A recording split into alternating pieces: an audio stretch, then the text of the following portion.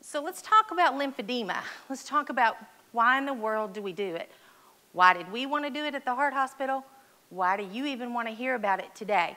Well, first of all, we can look at the fact that it's everywhere. 100 million people worldwide have lymphedema, 10 million in this country. Now, some sources will tell you that that's grossly underestimated um, because we don't recognize it.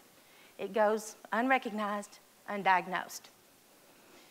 There are a limited number of certified therapists in not only in Arkansas but in this country. There are very few centers to treat these patients. And the centers that we do have oftentimes won't treat your patient population. They certainly won't treat my patient population, my patients with heart failure, chronic kidney disease, peripheral arterial disease. We actually recently had a center tell us that they have a quote unquote policy that does not permit them to treat patients with PAD. Now there's, there's something to that, but where does that leave our patients? Where does it leave your patients? What do we do? They don't want to take care of sick people. What do we do? We take care of sick people. So, despite all the things that you've seen today, you saw um, some venous insufficiency yesterday, talked about the great results that we get with radiofrequency ablation. You've seen some of the phenomenal things, not just today, but in the past, that our interventional cardiologists do to restore blood flow. But despite all of those things, we kept seeing patients come into the clinic with persistent edema, recurrent cellulitis, and wounds. now, when your whole program is built on restoring and preserving function and saving limbs, it's not really the outcome you want to have, is it? Certainly wasn't the outcome that we wanted to have. So we identified a need, but it's not just a need that we saw in our patient population. There was an expectation that the patients who come to Arkansas Heart Hospital have for us to do something about this. There's an expectation that you have when you send your patients to us. You want results. You don't want them back in your office going, well, yeah, I mean, it's a little bit better, but come on. Can't you do better than that? Not only that, but we are the heart hospital. Our core values and our mission statement demand that when we identify need, that we find a way, and that's exactly what we do. There's nothing more patient-centered than that. We identify a need, we attack that need. So, here's why it's important to you. This is your patient population. There's probably not anybody out there that hasn't come across this at some point. So what we did is we set up base camp, just like they did when they decided to tackle Everest. The end of last year, we set forth our journey to get acclimated, to get educated, and to figure out how to take care of this patient population. We saw our last patient, or our, I'm sorry, our first patient for evaluation the last week of February. On March 1st, we started the climb, and we saw our first patient. So what is lymphedema? Lymphedema is an insufficiency. We heard about insufficiency yesterday on the vein side. Well, this is a, lymph a, a, insufficiency in the lymphatic system. You have a disparity or a discrepancy between the lymphatic load and the body's ability to transport that load. You end up with an end-stage irreversible lymphatic failure that leaves you with the limb like that. There are three types of lymphedema dynamic, mechanical, and combined. This is not rocket science. What you have in a dynamic insufficiency is you have a normal functioning lymphatic system that's been overloaded. So the lymphatic load exceeds the body's ability to transport that. Conditions like this, chronic venous insufficiency, there's that bias, uh, immobility, heart failure, pregnancy. I had a physician today in the audience who mentioned to me, boy, yeah, we had a lot of that, a lot of that lymphedema in our pregnant women. Mechanical, this is more of a low volume situation. This is when you kind of start to see it. Up there in the, in the dynamic stage, in the early stage, you don't really recognize that maybe as lymphedema. But when you get down to the mechanical stage, you start seeing some things there and go, well, I mean, this is not looking good. You've got an underlying functional or organic cause that the system itself is beginning to fail you now. So your transport capacity itself is not able to manage a normal load. This is sometimes referred to as secondary as well. These are your surgery patients, post-op lymphedema, radiation patients, think about our breast cancer patients, uh, trauma, and then chronic inflammation. And then we get to the big ugly. The big ugly at the bottom is combined. Everything's kind of failed. We didn't do anything about it when it's dynamic. We didn't do anything about it when it's mechanical. So now we're crashing and burning with combined lymphedema. It's progressive. It's ugly. Everything's going wrong. Transport capacity is not there. Lymphatic load is not is out the roof, and we have severe tissue damage and chronic inflammation. Not a pretty sight. So, well, how do I know the difference? Edema is edema, right? What is it? When you're looking at edema, edema is a symptom. I mean, we all know that. You know, it's multifactorial. It's usually a response to some type of an insult. It's pretty self-limiting, and it will usually respond to some type of treatment. Whether it's diuretics, whether it's support, whatever it is, they'll usually respond. Lymphedema, however, is a pathological process. Your edema's been there for three months. Uh, in duration, it does not respond to any conservative medical treatment. You can't elevate the legs, make it go away. What you have is this accumulation of fluid in the interstitial space. And this is a very toxic fluid. It's a protein-rich fluid. It sits there and just kind of brews. Doesn't need to be there. Doesn't certainly do any good for the tissue. And this all happens because of that failure in that lymphatic system. So the difference up here, as you can see, there's a sprained ankle. That's a good old garden variety localized lymphedema, or edema. On the bottom, look at the feet. Can you see the change? Particularly in the, in the middle uh, picture there, those fissures in the toes, you can tell that that's been there a while. And it's going the wrong direction. It's going to get worse. That's a lymphedema. So what might you see in your patients? Well, we know you're going to see edema. Dee, you just said that. What kind of edema is it? It's a non-pitting edema, okay? After those early stages, and we'll talk about that again in just a second, you don't see pitting, okay? This is a very firm. What you'll see is the, those uh, tough areas in the skin, you know, they become what you'll see us document a lot fibrotic.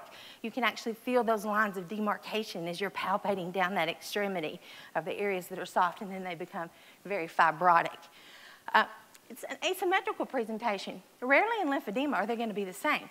What about in your heart failure patients? I mean, if they're overloaded, you're going to see some symmetry to that typically. But you won't see that in a lymphedema. You can have it on both sides. You can have it on an upper and lower, but they won't be symmetrical. One of the things you'll see a lot of times documented, we'll describe it as an inverted bowling pin. If you think about how you've seen those legs, particularly below the knee, that's what you see. And of course, the gosh awful weeping, lymphorrhea. When you have weeping, you're basically pouring toxic acid onto the skin. It damages the skin. The biggest problem that we have is protecting the skin when you have cases of weeping and, and uh, lymphorrhea. It's terrible. It smells bad. It looks bad. It eats your skin up. It builds up layer after layer after layer. It's nasty stuff. Now, believe it or not, those legs are not painful typically. Not pain in the way that we would say, oh my gosh, that hurts. It's not that kind of pain. It's more of a discomfort because you've got some heaviness. I mean, some of these limbs are three times the size of the other one. So that's definitely uncomfortable, but it's not the kind of pain like you would think about. I need a pain shot for that. Though some people probably would try that, but it's not painful. The humpback appearance from the invasion of the foot is a classic sign. Mm-hmm. That, that foot will be just like that big old puffy foot lymphedema invades the foot. Okay? Only in one case does it not.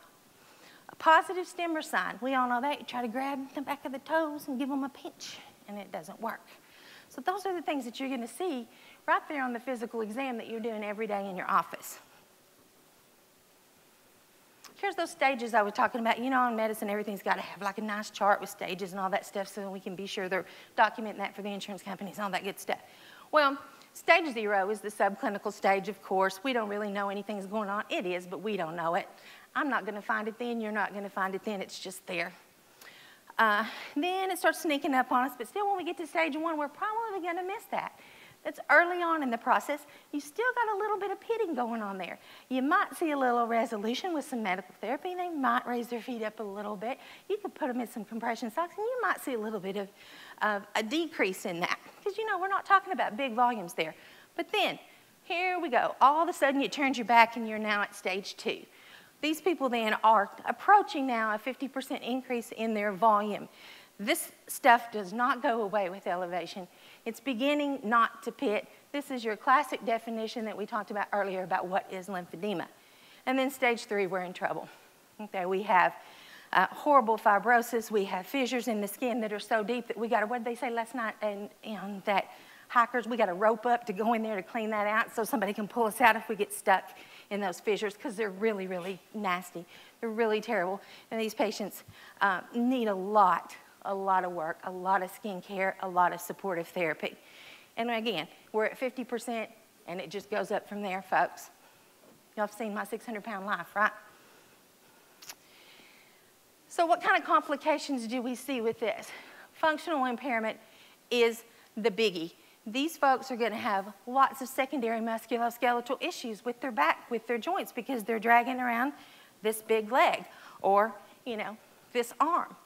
You have to know that in some sources, I found as many up to 10% of the people who have lymphedema will have a either loss of their employment or a significant change in the role that they currently hold because of this functional impairment that ensues from this condition. And then, what about the psychological impact? Oftentimes that's overlooked. These folks are miserable. They're embarrassed. They don't want you to look at it. They don't want you to touch it. They go to Sunday school and somebody who they haven't seen in a while says, Oh, honey, your arm is so swollen. They're mortified. They can't put on their strappy sandals in the summertime. They can't do, they can't wear shoes. That's embarrassing. It's not just a functional thing. That's not an ideal thing. That's an emotional thing for these patients. And it's real, I promise you. And then we get to the nasty stuff like bacterial and fungal infections. And I, I can't even, I mean, I, I, Dr. Dixon, I'm sorry, but that video was pretty nasty. But this stuff right here, it's pretty, pretty rank. Um, and, and you, have to, you have to treat that aggressively. There's no such thing as a little cellulitis in a patient with lymphedema. It can be life threatening. These people are in the hospital. They're on, on IV antibiotics, and not, not just once, not twice, but over and over. If you've got a real lymphedema case, these people are sick.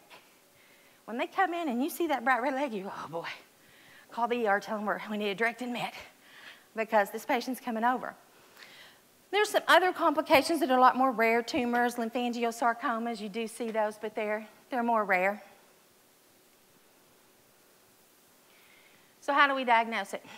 Well, unfortunately, there's not that test on our order set that we can say, do this and let's diagnose lymphedema. There's also not that test for you, unfortunately. It is truly one of those things that we cliche things that we say, diagnosis of exclusion. It's really true. You're going to make this diagnosis based on your history and your physical. Right. Uh, somebody said that earlier in one of the presentations, and Dr. Hyman, I think, is, is that your history is going to be your guide. And we know that, but we like to use those diagnostic tests. But that's where it's going to be. We already said it can be primary or secondary, and I would be remiss if I didn't tell you this can be genetic. I was talking to a, another attendee uh, yesterday in the APN session, and you know we were talking about a patient that she has, but that patient's mother also had lymphedema. So there is a genetic connection there, and, and we have to pay attention to that, and that's where that history comes in. Um, we do use ultrasound some. Uh, you know, and you're really with ultrasound is because you're looking to see if there's any other things going on. We got any of that venous insufficiency that my team was talking to you about yesterday. Uh, you're looking for underlying things there with that ultrasound. And if you're fortunate, and we are, to have uh, registered vascular technicians who specialize in vascular ultrasound, then you know they can say, "Hey, Dee, come and look at this. Look how much fluid I found here in this interstitial space. That's lymphedema." And they love it when they can do that. They come in and "Hey, Dee, I found some lymphedema." You know, so it's a pretty cool thing. Lymphography and lymphoscintigraphy are rarely used. You see that more in the academic centers. And let's be honest, it really doesn't change things much. MRI and CT can be useful in detecting any uh, lymphatic obstruction like, a, obstruction like a tumor. Here's some presentations that you might see that are quite challenging. Um, this patient in the top here has what we call a phlebolymphedema. You want to guess what that is? Well, that's venous insufficiency and lymphedema together. You have to treat both if you're going to get a good outcome for this patient. look in the second here. We could look through here and think, well, you know, that, that first slide there, first picture, that doesn't look that bad. Look at the second one and then to the third. What do you notice about this? You notice that the feet are spared here. And if you could see the rest of these bodies, you know, you just automatically say, well, they need to, you know, they need some bariatric surgery, need to go on a diet, that kind of thing. Well, that may be true. But if you could see the rest of their body, these people have the tiny little feet. They have an upper body that looks fairly normal. I mean, you know, if they're heavy, they are going to have some weight there, but it's going to be disproportionate in its distribution. That is lipedema or lipolymphedema. This requires a lot of supportive therapy. You're not going to get a lot of uh, reduction. You'll get some, but this is a lifelong process of teaching them how to deal with that through support, custom support. And then my nemesis at the bottom for all these years, peripheral arterial disease. That patient has occult arterial disease. And look at the foot. You can see that invading the, there's the humpback, there's the toes. But if we don't treat that underlying arterial disease, um, that patient's going to be in a world of hurt. So what do you do? Well, you focus on reducing the volume, preserving whatever lymphatic function that you have, and preventing reaccumulation. Folks, there's no cure for lymphedema, and you must tell your patients that. When you send them to me, and they're going to be so proud, and I'm going to say, you know, they were absolutely right. Sweetie, you've got lymphedema. It's a good thing that they got you, you know, in for some therapy and all that. But there's no cure. So you go from being the hero to zero because you said, hey, I'm going to send them over to the lymphedema therapist and they're going to cure that lymphedema. We're not going to cure lymphedema. There is no such. What we are going to do is we're going to focus on managing those symptoms, preventing complications, and then we're going to do some very aggressive therapy. It comes in two phases intensive in center and then at home self management. In center, we're going to take those patients through a program called Complete Decongestive Therapy. In that, we do some actual hands on physical therapy to move that fluid.